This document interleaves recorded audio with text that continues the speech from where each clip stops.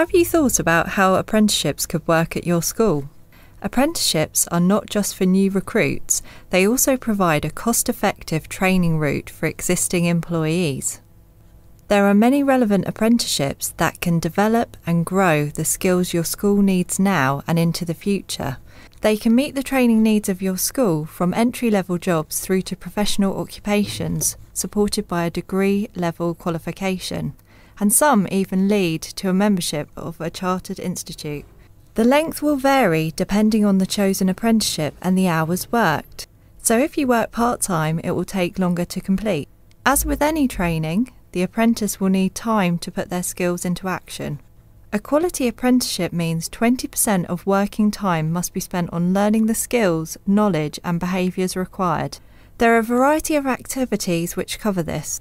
Take Mark, who is studying a teaching assistant apprenticeship. His trainer comes into the school and delivers one to one training. Mark's trainer meets him once a month, and we give him time whilst he's at work to put his learning into practice. The results are great. As Mark develops his understanding, his confidence grows. He's becoming one of our best teaching assistants. Schools that pay the apprenticeship levy have their funds transferred to a digital account which the government tops up by 10%. This account automatically makes monthly payments to the training provider throughout the length of the course. Schools that do not pay the levy will pay 5% of the cost and the government pays 95%. The training provider will invoice the school for their contribution. In a short space of time, our apprentices have become valued members of our team, both by our staff and pupils. I often receive positive feedback from service users.